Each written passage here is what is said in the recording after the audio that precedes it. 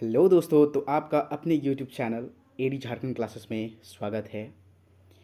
और आज का जो क्लास है पेपर थ्री कंप्यूटर का फुल कोर्स है। अवेलेबल है एडी क्लासेस ऐप पे पीडीएफ के लिए कांटेक्ट कर सकते हैं ओनली वन फोर्टी नाइन में। सेवन क्लास है, बहुत ही बेहतरीन क्लास है। तो चलिए जे सी जी एल दो हज़ार तेईस के लिए हम लोग पढ़ रहे हैं पेपर थ्री कंप्यूटर का, और आज हम लोग पढ़ेंगे introduction introduction of all types of computer एक भी ऐसा कंप्यूटर का आपको टॉपिक नहीं बचेगा जो छूटेगा। एक भी नहीं बचेगा। सारे को कवर करने वाले हैं और हम लोग करेंगे आज सुपर फास्ट रिवीजन क्योंकि अभी तक तो स्टूडेंट्स को ये बचा नहीं होगा कि भाई कंप्यूटर पढ़ना है। बहुत सारे स्टूडेंट पढ़ लिए होंगे। दैट्स इसलिए ये जो है आपका सुपर फास्ट रिवीजन क्लास है। ठीक है? एकदम बहुत ही बेहतरीन सुपर शॉर्ट नोट्स के साथ सुपर फास्ट रिवीजन है। ठीक है? तो चलिए हम लोग introduction of all type of computer in Hindi हम लोग पढ़ते हैं। पीडीएफ के लिए कांटेक्ट कर सकते हैं double eight six three double eight four two eight one पर। वन मंथ बचा है। वन मंथ की रणनीति का वीडियो आप लोगों ने देख चुका होगा।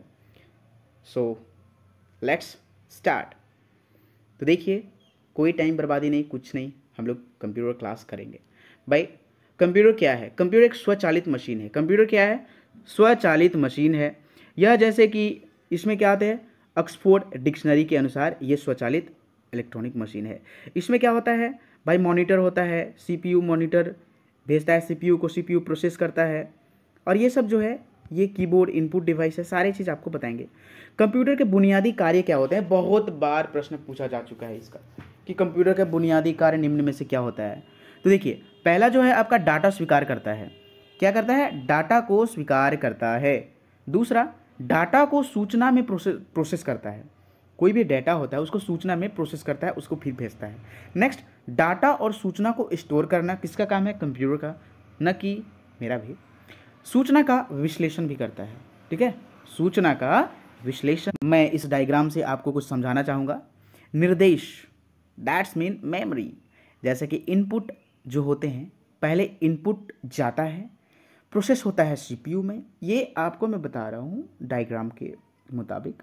आउटपुट जो हम लोग को मिलता है, या तो सॉफ्ट कॉपी मॉनिटर पर मिलता है, या फिर हार्ड कॉपी प्रिंटर से मिलता है। आउटपुट दो फॉर्म में होते हैं।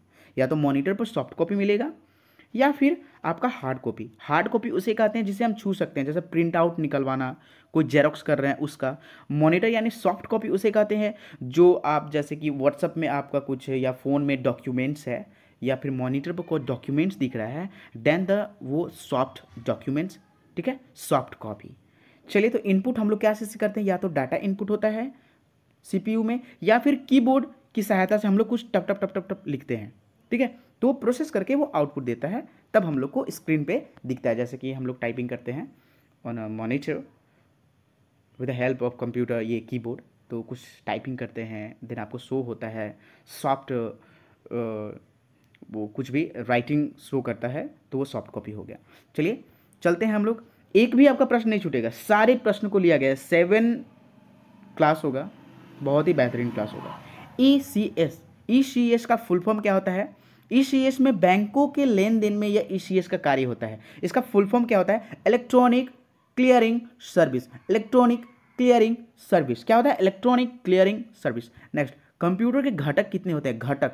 तो तीन घटक होते हैं भाई। कंप्यूटर के कंपोनेंट्स घटक कहने का मतलब that's a type of components of the computer क्या चीज़ होता है? Hardware software data hardware software data hardware किसे कहते हैं? जिसे हम छू सकते हैं. सॉफ्टवेयर जिसे हम छू ना सकते हैं, सिर्फ़ देख सकते हैं. जैसे कि व्हाट्सअप इंस्टाग्राम फेसबुक में, हम लोग क्या देखते हैं? ऐप देखते हैं. दैट्स अ सॉफ्टवेयर डेटा जो डाटा होता है, कोई भी डाटा होता है, जिसे देख और छू सकते हैं, जैसे कीबोर्ड हो गया हार्डवेयर कहते हैं, देख और छू सकते हैं. Input data mouse, monitor, CPU, ठीक है? हार्ड कॉपी, ये हार्ड डिस्क ड्राइव, मदरबोर्ड, ठीक है? प्रोसेसर, सारे चीज़ अभी हम लोग ये सब देखते हैं। चलिए नेक्स्ट सॉफ्टवेयर, प्रोग्राम के समूह को सॉफ्टवेयर कहते हैं और यह सब प्रश्न पूछता है कि प्रोग्राम्स के समूहों को क्या कहा जाता है? सॉफ्टवेयर। हार्डवेयर जो है, हार्डवेयर कंप्यूटर का शरीर है। क्या सॉफ्टवेयर कंप्यूटर की आत्मा। कंप्यूटर की आत्मा क्या है? आपका ये प्रश्न पूछ देगा। ठीक कंप्यूटर की आत्मा क्या है? सॉफ्टवेयर हार्डवेयर क्या? कंप्यूटर का शरीर है। कंप्यूटर का शरीर क्या है? तो हार्डवेयर है। चलिए डाटा में क्या क्या होता है? डाटा कैसे हम ये डालते हैं हम लोग? प्रोसेस कैसे करता है? तो कीबोर्ड या माउस की सहायता से सीपीयू में डाला जाता है, फिर प्रोसेस करके वो सूचना देता है मॉनिटर पर। संख्या, संख्यात्मक data one two three four चिन्हात्मक data अक्षरों, अंकों तथा चिन्ह का प्रयोग किया जाता है, लेकिन गणितीय चिन्ह का प्रयोग नहीं होता है। ठीक है? नेक्स्ट सूचना क्या होता है? वैसे इनपुट हम डाटा किया सीपीयू में। ठीक है? इनपुट मैंने डाटा किया। तो ये आउटपुट सूचना में बदल जाता है। ठीक है? ये सब आपका प्रश्न है भाई, ठीक ना? सूचना प्राप्ति, जो कार्य कंप्यूटर पर करते हैं, जानकारी कंप्यूटर में स्टोर हो जाता है। फिर से निकालने के लिए रैम सेल से क्या कहते हैं कॉल करके सीपीयू द्वारा वापस लाया जाता है। ठीक है? ये सब चीज़ आप ध्यान देंगे। और आपको यहाँ जो मिलेंगे ना टोटल कंप्यूटर के बारे में है। देखिए, चालीस पेज यहाँ है ना, चालीस पेज एकदम टोटल कंप्यूटर के बारे में पढ़ा दिया गया है भाई। तो वीडियो को टोटल अच्छे से देखिए ना तो आपका एक भी कंप्यूटर का ये जो है क्वेश्चन नहीं छूटेगा। बीस में बीस आप मार के आइएगा। आपको ध्यान से थोड़ा सा, ऐसो चार पाँच घंटे ध्यान दे देने हैं सात क्लास में। कंप्यूटर जो है ग्रीक भाषा है। कंप्यूट शब्द से जो कंप्यूट होता है, ग्रीक भाषा है जो कंप्यूट, ठीक है? कंप्यूट का जो अर्थ होता है गणना करना, यानी कि संगणक होता है, इसका अभिकलित्र भी कहते हैं। अगर आपसे प्रश्न पूछे कि अभिकलित्र को क्या नाम से जाना जाता है तो ये कंप्यूटर का ही हिंदी नाम अभिकलित्र है, संगणक है, ठीक है? डाटा प्रोसेसिंग मैंने बहुत बार ये बता दिया। कि पहले मैं कीबोर्ड से इनपुट डाटा करता हूँ, फिर सीपीयू प्रोसेस करता है, फिर मॉनिटर पर दिखाता है। ये आप याद रखेंगे, ये आपको लैंग्वेज में पूछेगा। इलेक्ट्रॉनिक विधि से डाटा का विश्लेषण करना होता है। नेक्स्ट कंप्यूटर की विशेषता क्या है? तो गति कितनी होती है भाई? कंप्यूटर की विशेषता देख लेते हैं हम लोग। गति देखिए हर्ट्स में मापते हैं हम लोग। कंप्यूटर की गति किस चीज़ में मापी जाती है? हर्ट्स में। किस चीज़ में मापी जाती है? हर्ट्स में। नैनो सेकेंड गणना कर, करती है ठीक है? नैनो सेकेंड यानी ten to the power minus nine second समय इतना अनुसार उतना जल्दी गणना करता है। एक सेकेंड में दस लाख डाटा प्रोसेस कोई भी कंप्यूटर कर सकता है ठीक है? एक सेकेंड में कितने लाख ये सब पूछता है प्रश्न। तो आपका एक भी पॉइंट फालतू नहीं दिया गया है। एक सेकेंड में दस लाख डाटा प्रोसेस कर सकता है। M I P S million instructions per second million instructions per second automatic एक होता है एम आई पी एस का जो होता है full form million instructions per second होते हैं। यही ऑटोमेटिक यानी कि आदेश देने का कार्य करते हैं, उसको ऑटोमेटिक त्रुटि रहित जो कार्य करते हैं ये कंप्यूटर त्रुटि रहित ये विशेषता है सारा। जो होता है परमानेंट स्टोरेज जैसे मेमोरी होता है डिस्क होते हैं, विशाल भंडारण क्षमता लार्ज स्केल जो स्टोरेज कैपेसिटी होती है जो external hard disk and floppy disk होते हैं एंड इंटरनल स्टोरेज में मेमोरी मेन मेमोरी होता है, ठीक है? इंटरनल स्टोरेज में क्या होता है? मेन मेमोरी होता है एंड एक्सटर्नल में hard disk and floppy disk होता है। चलिए नेक्स्ट पॉइंट क्यों चलते हैं हम लोग। आपका जो है आंतरिक संग्रहण, कहने का मतलब आंतरिक इंटरनल स्टोरेज क्या क्या होते हैं? रैम एंड रोम होता है। रैम रोम का रैंडम रीड वनली मेमोरी होता है और रैम का जो फुल फॉर्म होता है, रैंडम एक्सेस मेमोरी होता है। और मैं बात बताता हूँ कि ऑपरेटिंग सिस्टम ओएस अपलोड होते हैं। ये डाटा स्टोर नहीं करते हैं। रोम, पावर सेल्फ, यानी कि देखिए, इसका जो काम क्या होता है, पावर ऑन सेल्फ टेस्ट के लिए अप्लाई किया जाता है। ठीक है? चलिए रैम, रोम के बारे में हम लोग आगे बहुत बेहतरीन ढंग से पढ़ेंगे। फास्ट रिट्राइवल, यानी कि भंडारित सूचना को तीव्र गति प्राप्त करता है कौन? रैंडम एक्सेस मेमोरी ये क्या होता है? मदरबोर्ड पर ऑटोमेटिकली हो है, ये लगा हुआ रहता है इंटरनल मेमोरी के रूप में। जैसे कि रोम कितना है? रैम कितना है? हम लोग हमेशा पूछते हैं। ठीक ना? कितना जीबी रैम है भाई? मतलब कितना जीबी इंटरनल मेमोरी है? आठ जीबी का है, बहुत अच्छा है। सोलह जी का है, एक सौ अट्ठाईस जी का है। सॉरी ये रोम हो गया। रैम होता है, एक सौ एक सौ अट्ठाईस जी बी दो सौ छप्पन जी बी पाँच सौ बारह जी बी इस प्रकार से आपका रैम आते हैं। और जैसे आठ जी बी है, बारह जी बी ये सब रोम होते हैं, ठीक है? तो इंटरनल मेमोरी जो होता है, वो क्या करते हैं? रैंडम एक्सेस मेमोरी मदरबोर्ड पर लगी रहती है सी से जुड़ा होता है, प्रोसेस का कार्य यही रैम करता है, इसलिए, ठीक है? और इंटरनल मेमोरी होता है। नेक्स्ट, क्विक डिसीज़न, ये जो डिसीज़न लेता है कंप्यूटर, क्विक डिसीज़न तुरंत वाला लेता है, Facebook, games extra sheet, otherwise etcetera repetition बार बार समान विश्वसनीयता और तीव्रता से होती है मतलब कि रिपीटेशन नहीं करता है, विश्वास होता है इस पर एंड गोपनीयता user accounts and program hard disk and the file सुरक्षित रखता है, अगर आप पासवर्ड लगा के रखें तो। नेक्स्ट चलिए नोट है आपका कि भारत में प्रथम कंप्यूटर 16 अगस्त उन्नीस सौ छियासी को बंगलुरु प्रधान डाकघर में ये प्रथम बार आई थी। पूर्ण कंप्यूटरीकृत डाकघर सबसे पहले कहाँ हुई थी? नई दिल्ली में हुई थी। पूर्ण कंप्यूटरीकृत डाकघर नई दिल्ली में हुई थी first starting time and Bharat में प्रथम बार कंप्यूटर का आगमन जो यानी कि प्राप्त हुआ था, बंगलुरु के डाकघर में 16 अगस्त उन्नीस सौ छियासी को हुआ था। चलिए इसी प्रकार से हम लोग और भी नोट्स पढ़ते चलेंगे।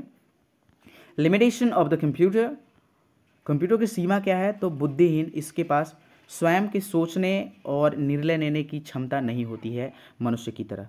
ठीक है तो ये बात आप ध्यान देंगे। That's the machine and the मनुष्य माइंड जो होता है, मनुष्य माइंड होता है। नेक्स्ट एक्सपेंसिव होता है।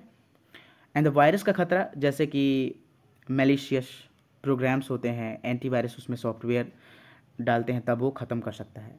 विद्युत पर निर्भरता होती है मॉनिटर सेट लैपटॉप नहीं होते हैं पोर्टेबल डिवाइस जैसे और चलिए एप्लीकेशन ऑफ़ द कंप्यूटर ये सब क्या है? डाटा प्रोसेसिंग जनगणना, संख्या को, ये सब करते हैं सारे चीज़। एक्सचेंज ऑफ़ द इन्फॉर्मेशन सूचना का आदान प्रदान होता है कंप्यूटर लैपटॉप से। ये सभी लोग जानते हैं। डाटा हो गया पीडीएफ हो गया, कुछ भी हम ट्रांसफ़र कर सकते हैं। सूचना का राजमार्ग है, ठीक है? एजुकेशन में भी बहुत अच्छी भूमिका ये निभाई है कंप्यूटर यही चलते हैं वैज्ञानिक अनुसंधान में, जो क्रांति लाया है कंप्यूटर्स एटीएम का जो फुल फॉर्म होता है ऑटोमेटिक टेलर मशीन होते हैं। अभी आपको आगे चलेंगे ना, आगे एकदम बेहतरीन आपको नोट्स मिलने वाले हैं। ये सब तो मैं विशेषता बता रहा हूँ कहाँ कहाँ यूज़ होता है कंप्यूटर का। ठीक है? ये हम लोग खुद जानते हैं, इसलिए मैं इसको स्पीडली पार कर रहा हूँ।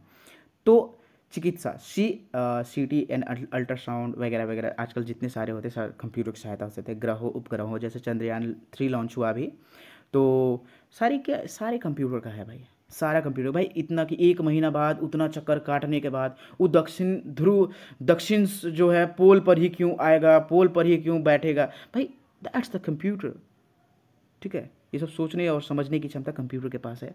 लेकिन हाँ आदमी जब करता है, वैसा सोचता है, तभी कंप्यूटर सोच पाता है। ठीक है? जैसे मनोरंजन के लिए cinema television video games mobile phones सारे यूज़ करते हैं। हाँ तो चलिए कंप्यूटर साक्षरता दिवस हम लोग मनाते हैं।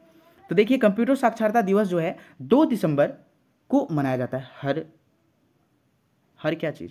प्रत्येक वर्ष। प्रथम, जो भारत का प्रथम कंप्यूटर में पीएचडी करने वाले व्यक्ति कौन से भाई? राज रेड्डी। कौन थे? राज रेड्डी।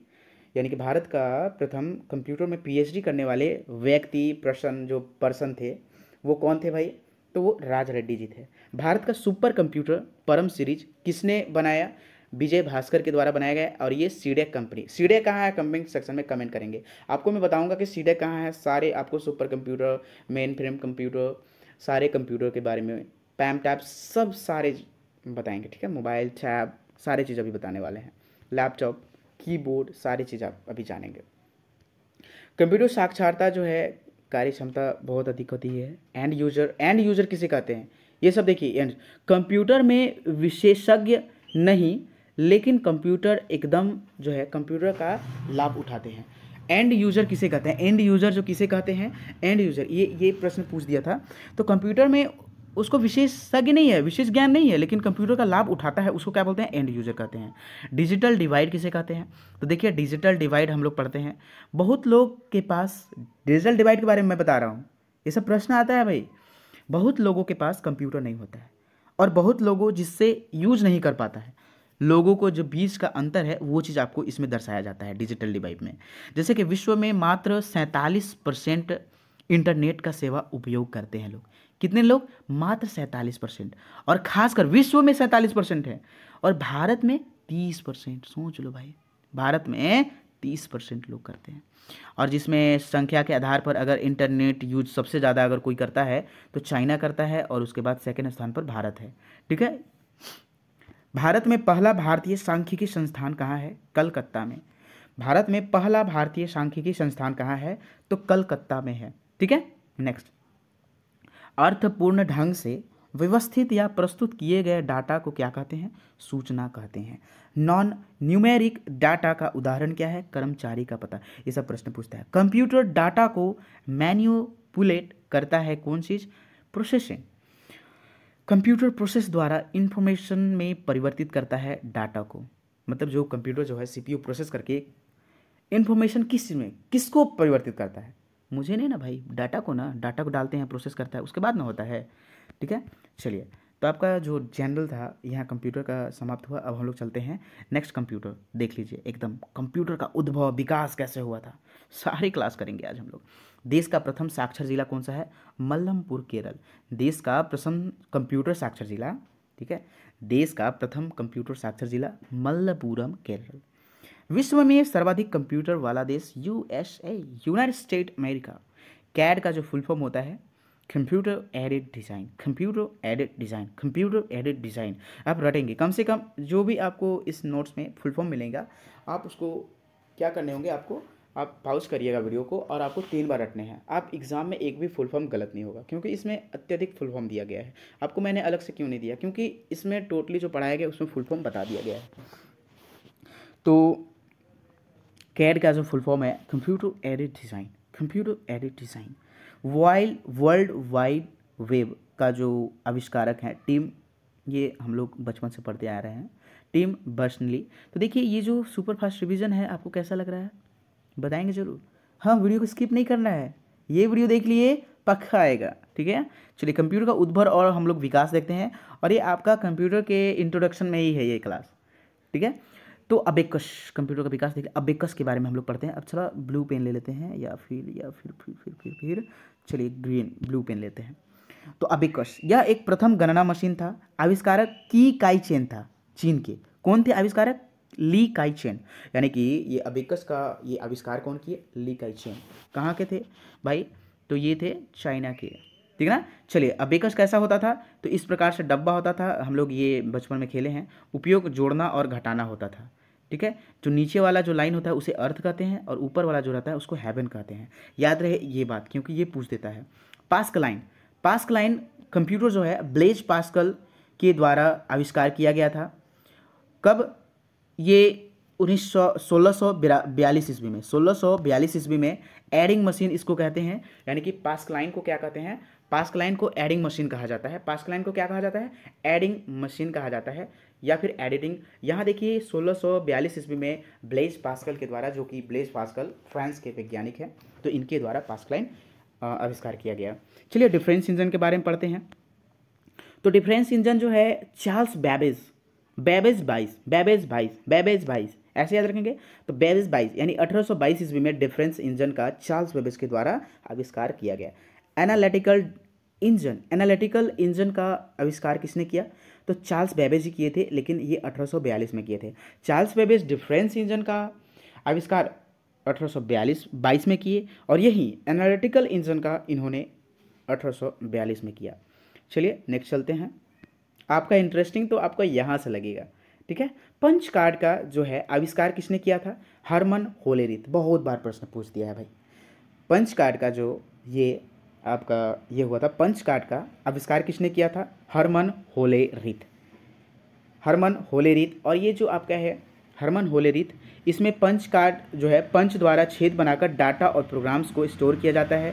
कपड़ा बुनने की मशीन और टेक्सटाइल उद्योग में ये पंच कार्ड का प्रयोग किया जाता है। और ये पंच कार्ड का कहाँ कहाँ प्रयोग होता है? कपड़ा बुनने की मशीन और टेक्सटाइल उद्योग में।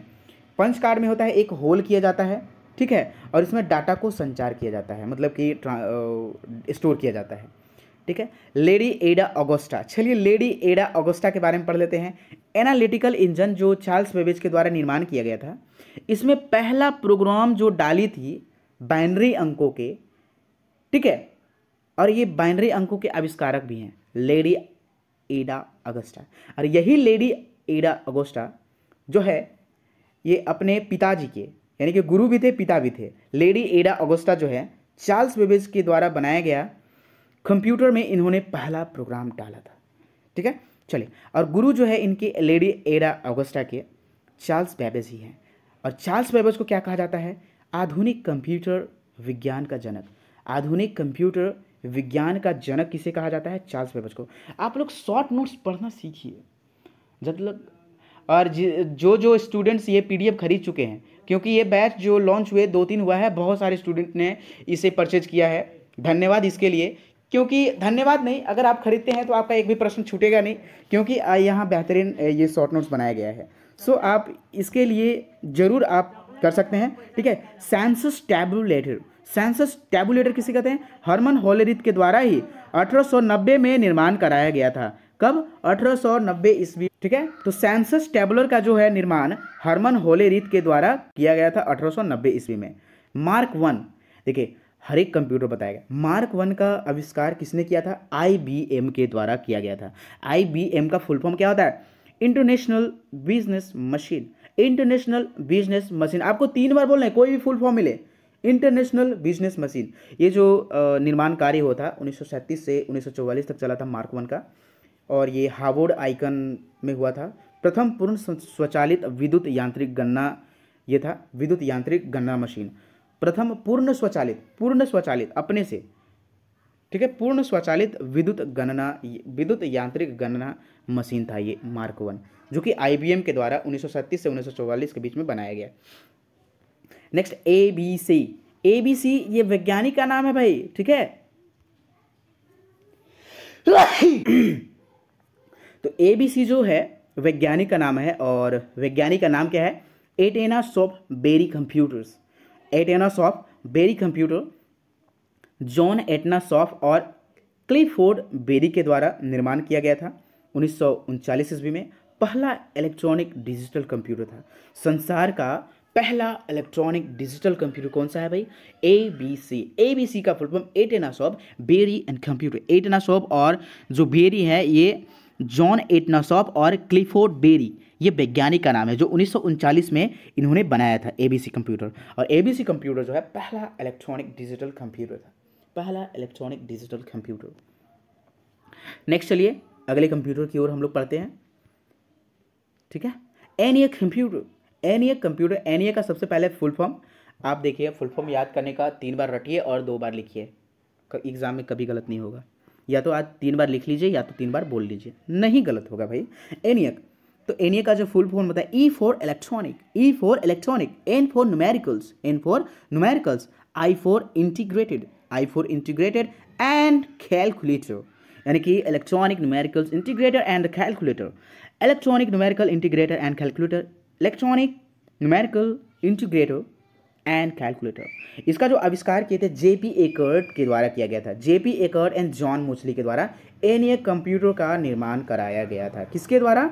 जो आविष्कार जो किए थे जेपी एकर्ट उन्नीस सौ ईस्वी में जॉन मुचली दोनों मिलकर किए थे। प्रथम, और क्या है? प्रथम इलेक्ट्रॉनिक कंप्यूटर है ये। प्रथम एनियक जो है, प्रथम इलेक्ट्रॉनिक कंप्यूटर और दूसरा पॉइंट है बाइनरी नंबर सिस्टम पर वर्क करने वाला यह प्रथम कंप्यूटर है। चलिए, इडवैक। इडवैक कंप्यूटर के बारे में पढ़ लेते हैं हम लोग। इससे ज़्यादा आपको कुछ नहीं मिलेगा, ठीक है? इडवैक। तो इडवैक का सबसे पहले फुल फॉर्म मैं बता दूँ।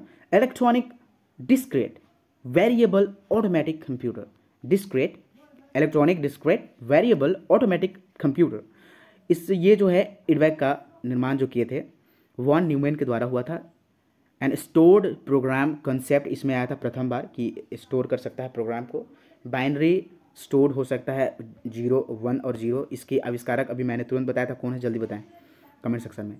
यूनिवैक यूनिवैक का के बारे में पढ़ते हैं कंप्यूटर यूनिवैक के बारे में। तो यूनिवर्सल ऑटोमेटिक कंप्यूटर इसका फुल फॉर्म है।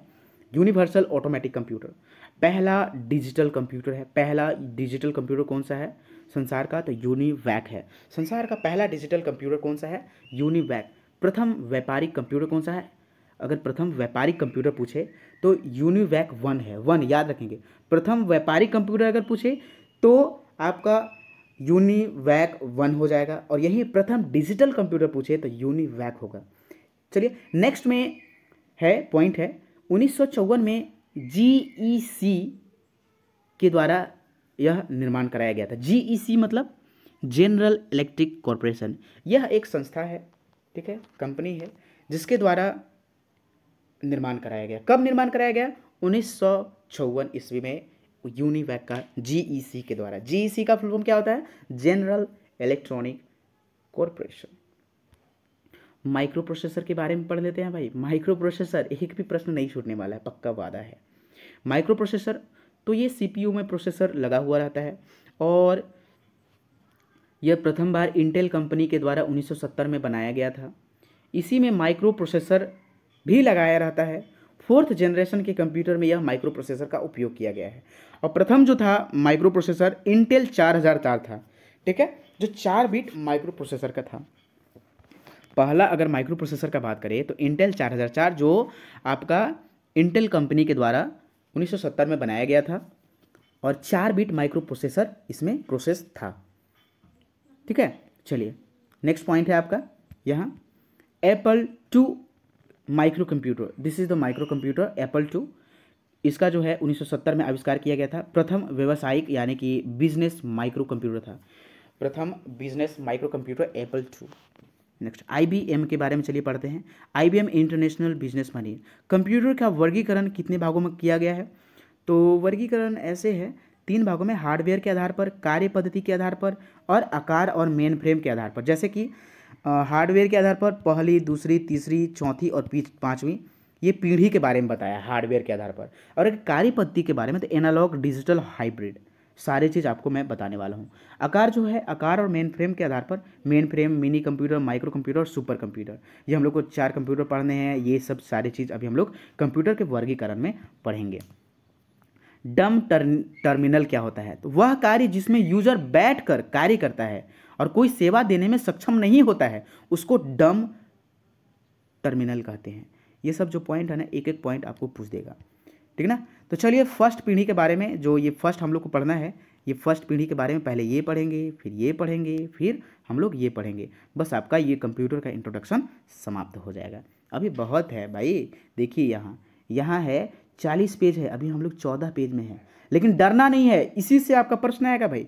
यही सात क्लास आपको करना है, और इसी से प्रश्न आएगा। तो प्रथम पीढ़ी के कंप्यूटर जो है first generation of the computer कब से कब तक आया था, ये प्रश्न पूछ देता है। ठीक है? कब से कब तक आया था? ये प्रश्न पूछ देता है। निर्वात ट्यूब का ये कंप्यूटर में उपयोग किया गया था। मशीनी लैंग्वेज का उपयोग किया गया था। बाइनरी लैंग्वेज का प्रयोग किया था। गति और गणना के लिए मिली सेकेंड में होता था। ठीक है? पंच कार्ड का उपयोग किया गया स्टोरेज के लिए। बहुत बड़ा और चलना मुश्किल, बहुत खर्चीला था ये कंप्यूटर। जैसे कि प्रथम पीढ़ी के कंप्यूटर का उदाहरण है एनियक यूनिवैक तथा आई का मार्क वन। तो भाई, ये यूनिवैक का निर्माण कब हुआ था और एनिया का निर्माण कब हुआ था, ये कमेंट सेक्शन में आप कमेंट करें। ठीक है? चलिए, आपको मैं बता दूँ कि आई मार्क वन जो है, का निर्माण जो है उन्नीस सौ बावन ईस्वी में डॉक्टर प्रेस हॉपर के द्वारा किया गया था। Doctor Grace Hopper, next assembly भाषा का आविष्कार इसमें किया गया। यूज़ जो है दूसरी पीढ़ी के कंप्यूटर में ये हुआ। ठीक है? असेंबली भाषा का। Next, second generation of the computer ये इसका जो कार्य, जो काल था 1955 से चौंसठ तक था, ठीक है? 1955 से चौंसठ तक, ठीक है? 1955 से चौंसठ तक।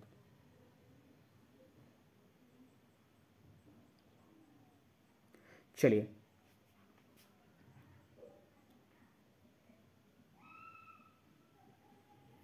चलिए हम लोग नेक्स्ट पॉइंट की ओर चलते हैं। निर्वात ट्यूब के जगह पर इसमें क्या चीज़ का उपयोग किया गया है? ट्रांजिस्टर का।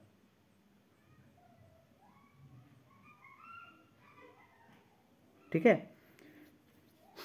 निर्वात ट्यूब के जगह पर सेकेंड जनरेशन के कंप्यूटर में ये 1955 से चौंसठ, ये आप बहुत याद रख लेंगे। ये बहुत ज़रूरी है। आपका ये ज़रूरी है। एक्चुअली सभी शॉर्ट नोट्स है ना?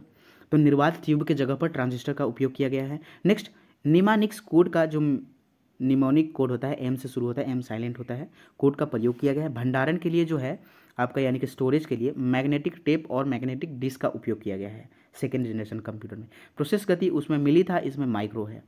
One microsecond is equal to ten to the power minus six second यहीं व्यवसाय तथा उपयोग का बात करें तो ये both operation batch operation system है, जैसे कि सेकेंड जनरेशन के कंप्यूटर का उदाहरण है। केवल इसमें विकास हुआ था, उपयोग नहीं हुआ था। COBOL FORTRAN H L H L L high level language इसमें केवल विकास हुआ था, उपयोग इस सारे का कहाँ हुआ है? तीसरी कंप्यूटर के पीढ़ी में हुआ है। चलिए तीसरी कंप्यूटर की पीढ़ी में देख लेते हैं, उससे पहले क्या है? ट्रांजिस्टर का आविष्कार जो है, उन्नीस सौ सैंतालीस में किया गया था। किसके द्वारा? बेल लेबोरेटरीज में जॉन बार्डिन, विलियम साकले और वाल्टर ब्रेटन के द्वारा, वाल्टर ब्रेटन के द्वारा।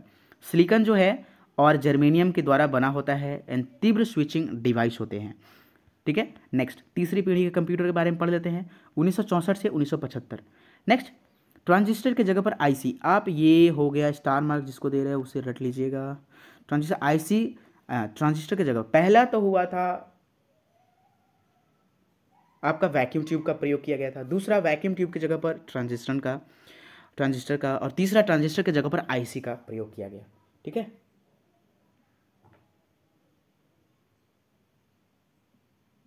आईसी का प्रयोग किया गया। ठीक है तो आईसी का फुल फॉर्म क्या होता है और आईसी का आविष्कार कौन किए थे? जल्द बताएँगे।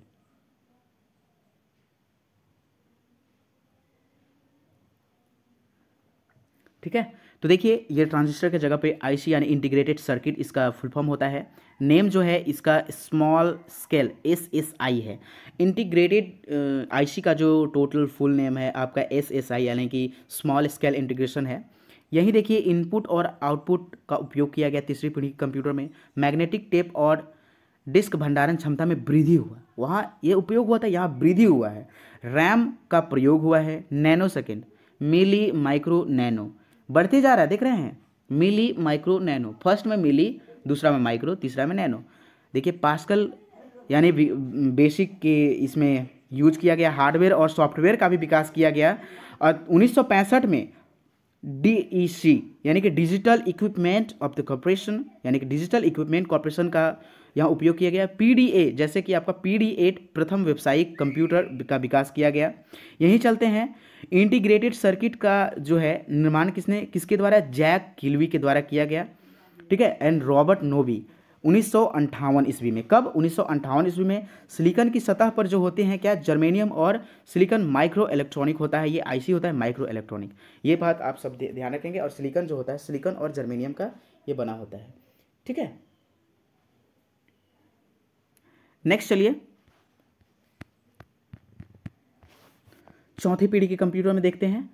Fourth generation of the computer और माइक्रो प्रोसेसर का उपयोग जो है इंटेल 4004 में उपयोग हुआ है, इसमें माइक्रो प्रोसेसर का उपयोग हुआ है। नेक्स्ट जैसे कि L S I and large scale integration very large scale integration गति गणना में पिको सेकेंड हो गया है milli nano micro pico one pico is equal to picosecond, इसको ten to the minus twelve seconds, ये सब आपको अत्यंत छोटा हाथ है। मल्टीटास्किंग इसमें प्रयोग किया गया है। माइक्रो प्रोसेसर का विकास हुआ है इसमें। जैसे माइक्रो प्रोसेसर का विकास कौन किए हैं? एम ई हॉप ने किया है उन्नीस सौ इकहत्तर ईस्वी में। और इसी व्यक्तिगत जो है, पर्सनल कंप्यूटर का उपयोग किया गया, इससे ही बना है, विकास हुआ है। रैम का प्रयोग हुआ है इसमें। लैन और वैन का विकास भी हुआ है चौथी पीढ़ी में। सी भाषा का विकास किसने किया है? तो यूएसए के डेनिस रिची। सी यानी कोबोल भाषा जो होता है, सी भाषा का, सी भाषा ही प्रश्न पूछता है। तो सी भाषा का विकास किसने किया? यूएसए के डेनिस रिची ने उन्नीस सौ बहत्तर में किया था। सी भाषा यानी कि जनरल जो है, प्रोसेस प्रोग्रामिंग लैंग्वेज। सी भाषा कहने का मतलब कि जनरल प्रोसेस प्रोग्रामिंग लैंग्वेज। ठीक है?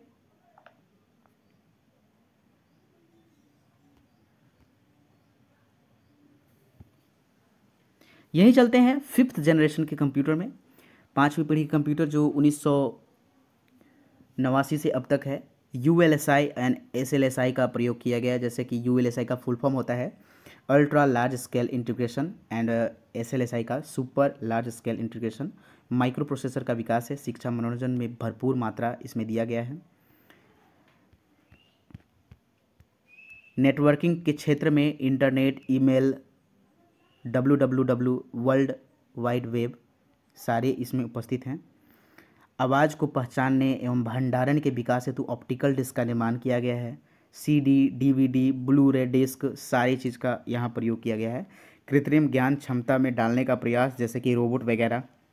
मैग्नेटिक बल्ब जो होता है, बबल, मेमोरी, भंडारण क्षमता, पीसी को प्रत्येक क्षेत्र से जोड़ना। आलू के चिप्स के आकार का होता है, क्या चीज़? ये आलू के चिप्स के आकार का होता है। ये आईसी यानी इंटीग्रेटेड चिप का नाम तो इसीलिए दिया गया है चिप आलू चिप्स के नाम पर ही चिप का नाम पकड़ा गया है, दिया गया है। अगली पीढ़ी के कंप्यूटर कौन कौन से हैं भाई? जैसे कि नैनो कंप्यूटर हैं नैनो कंप्यूटर जो ब्यास जिसका वन नैनोमीटर होता है ten to the power ten minus nine metre आविष्कारक का संरचना का आयोग है। क्वांटम कंप्यूटर है, बहुत सारे हैं जो ये क्या करेगा? विद्युत किरणों से ऊर्जा इलेक्ट्रॉन की उपस्थित के कारण होते हैं। यही चलते हैं आपके देख लेते हैं। इलेक्ट्रॉन अपने कक्ष में तेज़ी से भ्रमण करने में तीव्र होता है। मानव मस्तिष्क से तेज कार्य करता है कंप्यूटर। कंप्यूटर के पदार्थ एवं क्वांटम के सिद्धांत पर कार्य करता है। कंप्यूटर के पदार्थ जो है, क्वांटम सिद्धांत सिद्धांत पर काम करता है। ठीक है, ये बात आप याद रखेंगे। और ये सब अगले पीढ़ी का कंप्यूटर है। ठीक है? आने वाला। सामान्य कंप्यूटर में मेमोरी को बीट मापा जाता है। बीट बीट से। मेमोरी को किस चीज़ में मापा जाता है? कंप्यूटर में बीट से मापा जाता है। ठीक है? क्वांटम कंप्यूटर में क्यू बीट क्यू बीट यानी कि क्विट क्वीबीट क्वांटम बीट से क्विट से मापा जाता है। यही क्वांटम कंप्यूटर में। जो सामान्य कंप्यूटर में मेमोरी को किस चीज़ से मापते हैं? बीट से। लेकिन वही क्वांटम कंप्यूटर में क्यूबिट से मापा जाता है। ठीक है? Next D N A computer, ये जो कंप्यूटर है, आने आने वाला, अगले पीढ़ी का ये सब कंप्यूटर के बारे में बता रहा हूँ। डी एन ए तथा प्रोटीन का प्रयोग कर डाटा का ये ये संरक्षित और प्रोसेस कराया गया, एंड बायो कंप्यूटर कहते हैं इसको, डीएनए कंप्यूटर को। And the chemical computer chemical computer, गणना के लिए एंड रासायनिक गुणों की सांद्रता का उपयोग के लिए ये ये सब कंप्यूटर आपका अवेलेबल होंगे। नेक्स्ट है आपका एनालॉग ये classification of the working and technology उसके आधार पर तीन प्रकार के कंप्यूटर होता है, जो हम लोग को एनालॉग कंप्यूटर ये सब पढ़ना था। Analogue computer and digital and micro ये हाइब्रिड कंप्यूटर तो एनालॉग कंप्यूटर जिसकी गति एकदम धीमी होती है, साधारण घड़ी, एक जैसे कि एक साधारण घड़ी, वाहन का जो गति का मीटर होता है, ये कंप्यूटर ही है एनालॉग कंप्यूटर ठीक है स्पीडोमीटर जो गड़िया में लगा रहता है ना, कि चालीस का स्पीड पचास का स्पीड साठ का स्पीड नेक्स्ट जिसे हम लोग वोल्ट मीटर से मापते हैं। डिजिटल कंप्यूटर में क्या होता है? जैसे कि गति इसका तीव्र होता है और बाइनरी सिस्टम होते हैं उसमें वन या ज़ीरो जैसे इलेक्ट्रॉनिक संकेत पर चलना। हाइब्रिड कंप्यूटर क्या होता है? एनालॉग प्लस डिजिटल को अगर सम्मिश्रण करते हैं, मिलाते हैं तो उसको हम लोग हाइब्रिड कंप्यूटर कहते हैं। जैसे इनपुट और आउटपुट एनालॉगों को संकेत, उपयोग कराना, गणना एवं प्रोसेसिंग करना जैसे कि उपयोग इसका कहाँ? अस्पताल, रक्षा क्षेत्र एवं विज्ञान के क्षेत्र में ये हाइब्रिड कंप्यूटर का उपयोग किया जाता है। चलिए नेक्स्ट हम लोग पढ़ते हैं। आपका है? Next classification based on the size and work कार्य और, आकार और कार्य के आधार पर वर्गीकरण जो है mainframe computer minicomputer microcomputer supercomputer personal computer में क्या क्या आते हैं भाई? ये चलिए देख लेते हैं। Notebook netbook tablet laptop workstation palmtop ठीक है? ये सब आप याद रखेंगे। मेन फ्रेम कंप्यूटर जो होते हैं, क्या होते हैं? डम्ब टर्मिनल के माध्यम से मेन फ्रेम कंप्यूटर से जोड़ना कहलाता है। मल्टी यूज़र कंप्यूटर होता है मेन फ्रेम कंप्यूटर बत्तीस या चौंसठ बिग माइक्रो माइक्रो प्रोसेसर का प्रयोग किया जाता है इसमें। टाइम शेयरिंग होता है मल्टी प्रोग्रामिंग्स होता है, ये ऑपरेटिंग सिस्टम का प्रयोग होता है। Time sharing and multi processing उपयोग होता है जैसे कि बड़ी कंपनियों में बैंक रेलवे आरक्षण ठीक है, इस प्रकार से। मिनी कंप्यूटर क्या होता है? मिनी कंप्यूटर जो होता है, उन्नीस सौ पैंसठ में डीईसी के द्वारा, डिजिटल इक्विपमेंट कॉरपोरेशन के द्वारा किया गया है। संग्रहण क्षमता और गति अधिक होती है। यात्री आरक्षण बड़े ऑफ़िस कंपनी में इसका वर्क होता है, मिनी कंप्यूटर का। यहीं चलते हैं।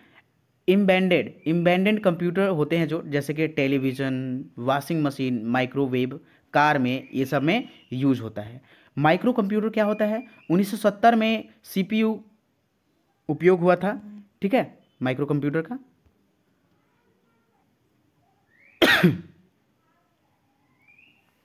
नेक्स्ट है माइक्रो कंप्यूटर 1970 में सीपीयू के उपयोग द्वारा आईबीएम कंपनी जो था,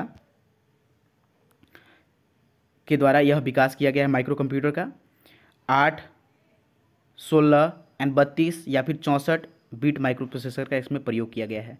भारत का सिलिकन वैली किसे कहा जाता है? बंगलुरु को। कंप्यूटर के निर्माण में अग्रणी होने के कारण इसे इसलिए सिलिकन वैली कहा जाता है भारत का कंप्यूटर में। जो होता है, उपयोग होता है घर, ऑफ़िस, विद्यालय, व्यापार सारे में। पर्सनल कंप्यूटर जैसे कि डेस्कटॉप कंप्यूटर, माइक्रो कंप्यूटर का विकास हुआ था इसमें, पर्सनल कंप्यूटर का। उन्नीस सौ इक्यासी में माइक्रो प्रोसेसर आठ का प्रयोग किया गया ये पर्सनल कंप्यूटर में। पी सी एक्स टी इसका जो फुल फॉर्म होता है T personal computer extended technology ठीक है? इस प्रकार से आप पढ़ेंगे। पी सी ए टी का फुल फॉर्म क्या होता है? एंड माइक्रो प्रोसेसर आठ हज़ार आठ का जो नाम दिया गया, क्या दिया गया? इसमें जो है माइक्रो प्रोसेसर आठ हज़ार आठ का प्रयोग किया गया। किसमें? पर्सनल कंप्यूटर में। और ये माइक्रो प्रोसेसर आठ हज़ार आठ का नाम क्या दिया गया? T personal computer extended technology इसका नाम दिया गया।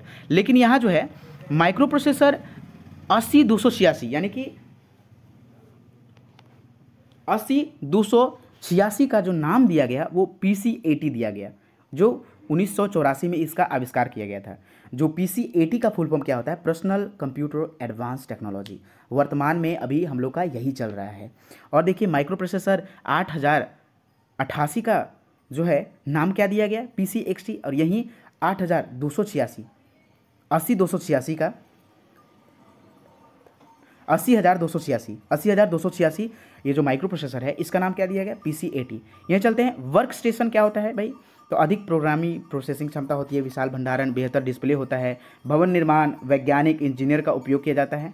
अब चलिए, नोटबुक, कंप्यूटर एंड लैपटॉप।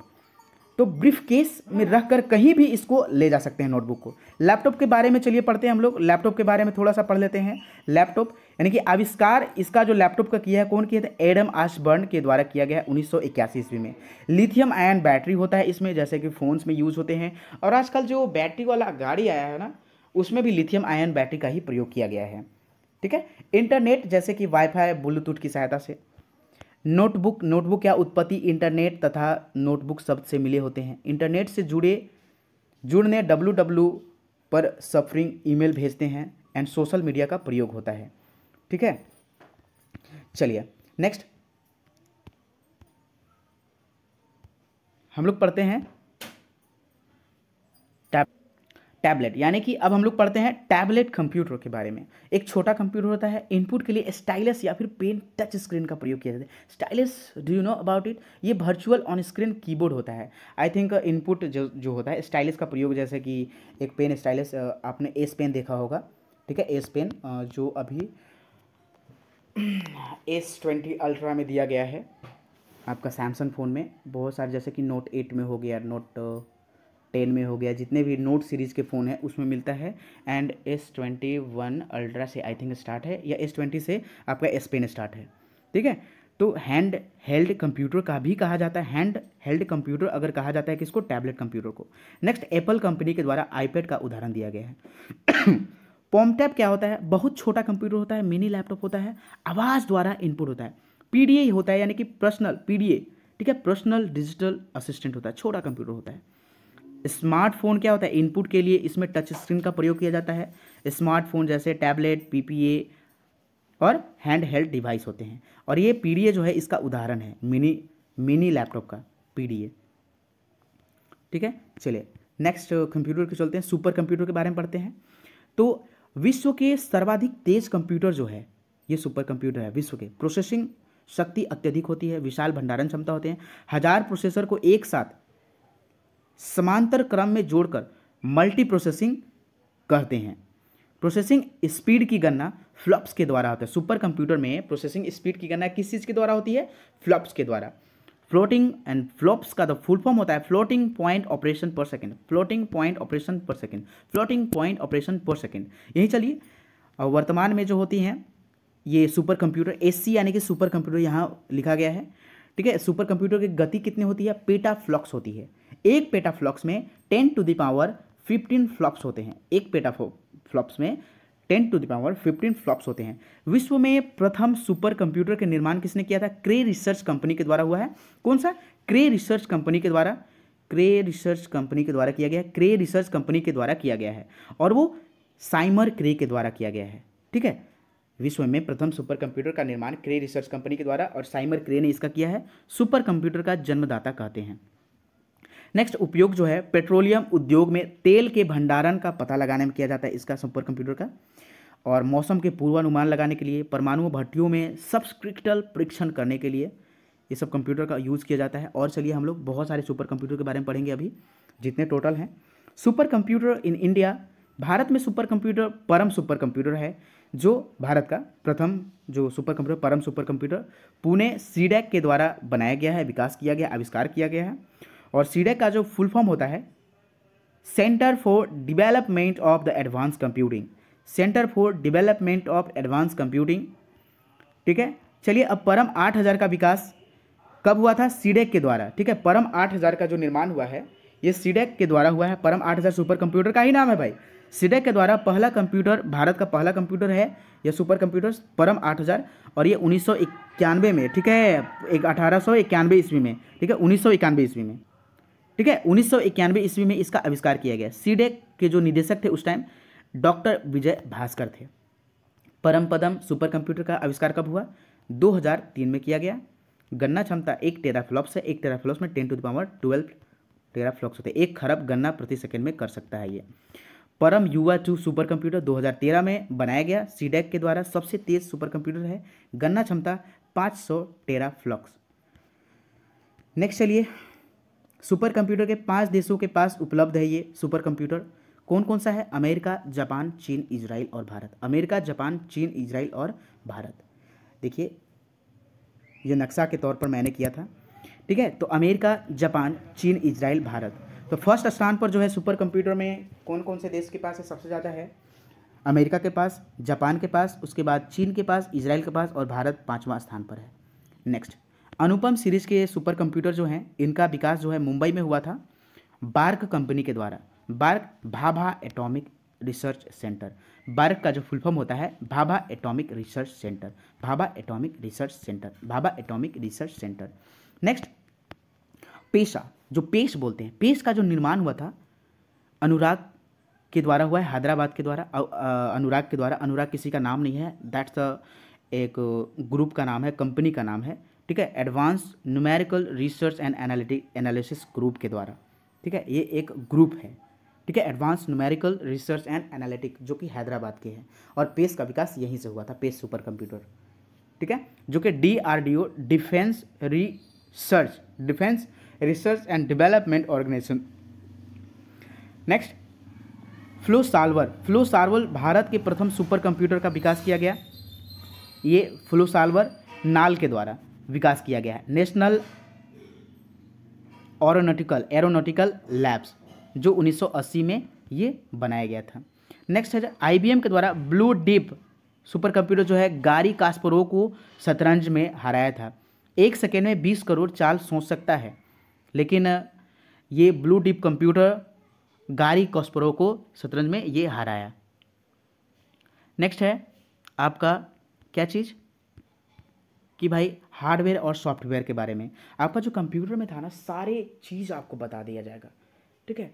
जो कठोर भाग होता है, वो वो होता है हार्डवेयर और जो सॉफ्ट होता है, आपका होता है सॉफ्टवेयर जैसे कि माउस कीबोर्ड जो छू सकते हैं, सारी चीज़ बता दिए गए हैं इसमें।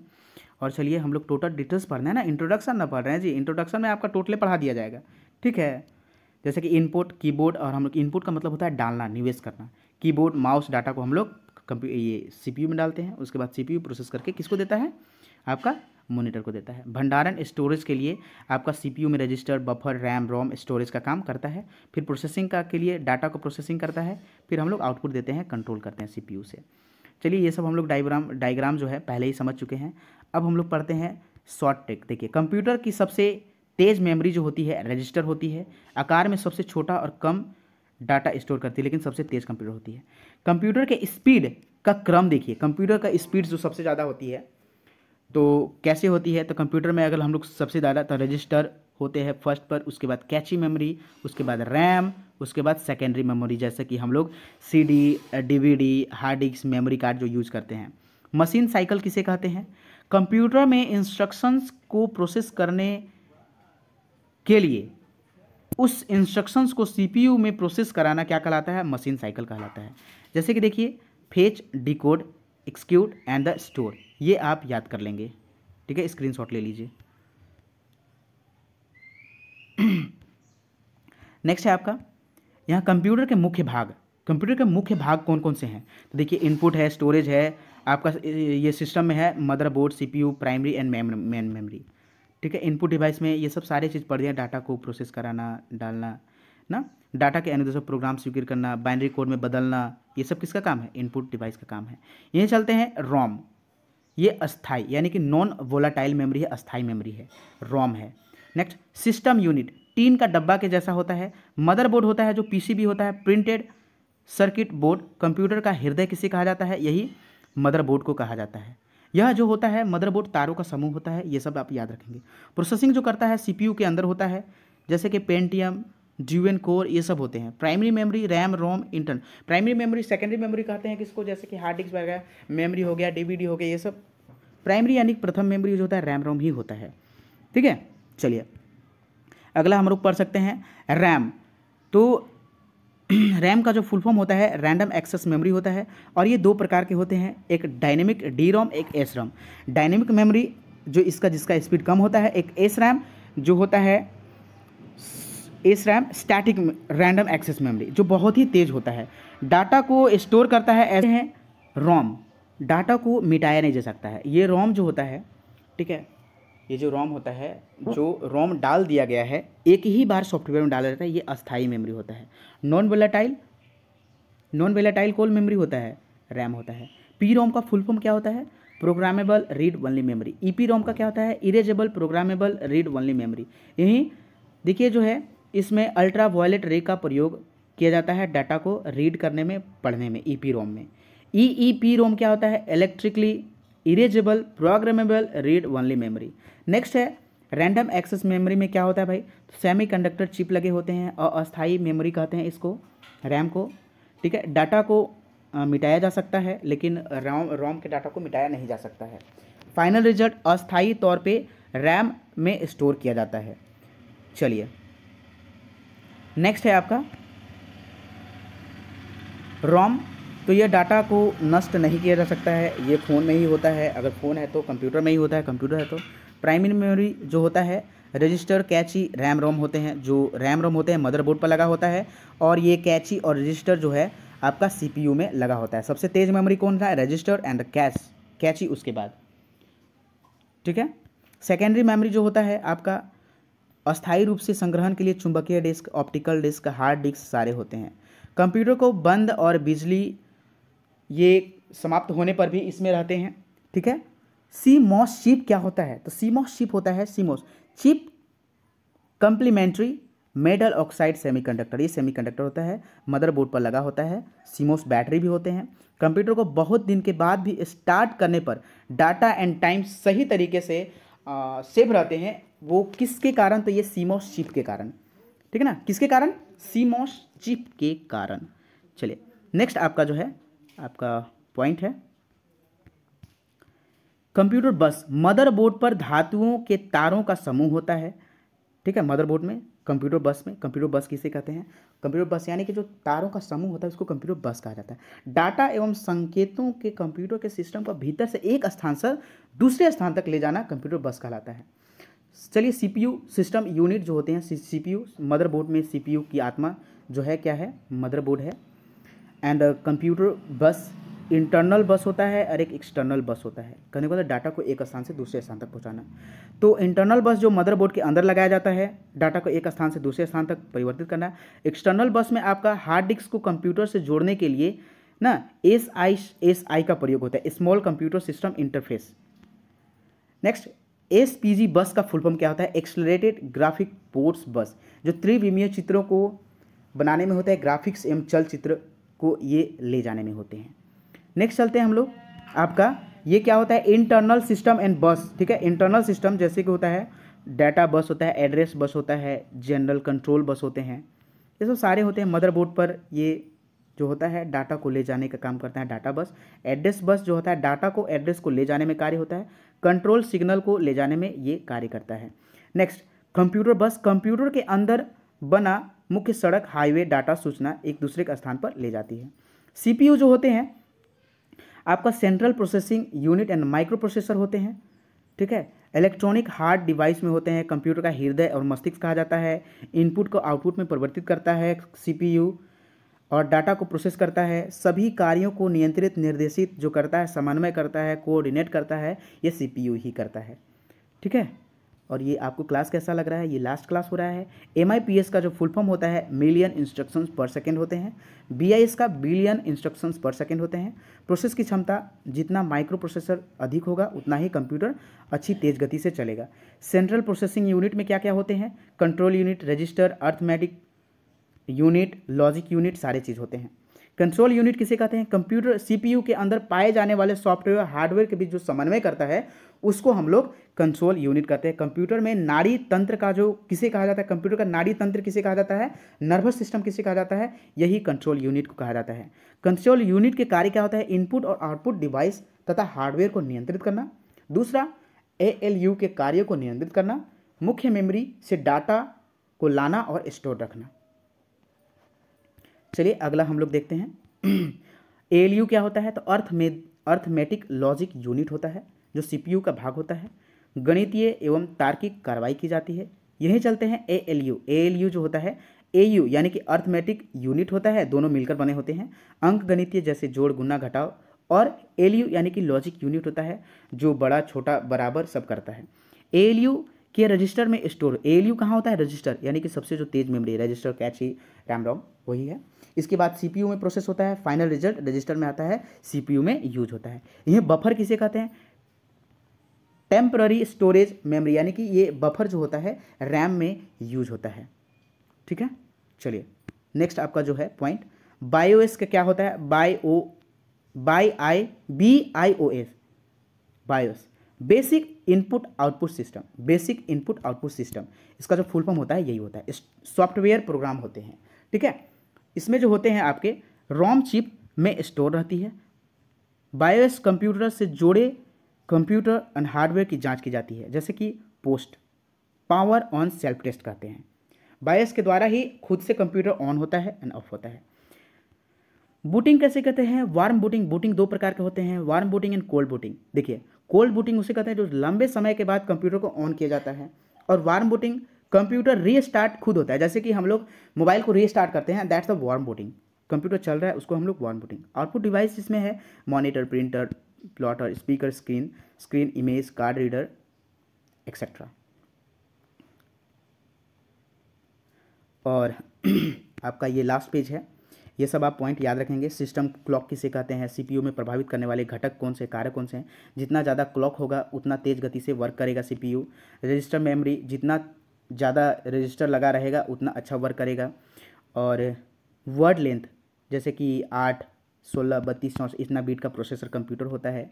Cache memory third generation refresh करने की ज़रूरत नहीं होती है। इसमें सीपीयू में रैम के बीच में लगा रहता है। ठीक है? सिस्टम बस इसमें मदरबोर्ड में पेरीफेरल डिवाइस का प्रयोग होता है, जोड़ने के लिए होता है समांतर गणना। ड्यूअल कोर होते हैं, जिसमें मल्टी कोर होते हैं सीपीयू की गति को बढ़ाती है ये सब। ठीक है? थ्रोपुट क्या होता है? कंप्यूटर द्वारा निर्मित उपयोगी प्रोसेसिंग वही कहलाता है। रेस्पॉन्स टाइम क्या कहलाता है? एक ओएस खुला प्रोसेस उसके तुरंत दूसरा ओएस खुला प्रोसेस करने के बाद ये कम तेज़ होता है। ठीक है? रेस्पॉन्स टाइम तो दोस्तों, आपका ये जो है, आपका इंट्रोडक्शन ऑफ़ कंप्यूटर समाप्त हुआ और ये आपको कैसा क्लास लगा? पेरीफेरल डिवाइस जो है आपका हार्डवेयर है। क्वेश्चन चलिए देखते हैं, गीगो का संबंध त्रुटि रहित कार्य से है। गीगो संबंध किससे है? त्रुटि रहित कार्य से।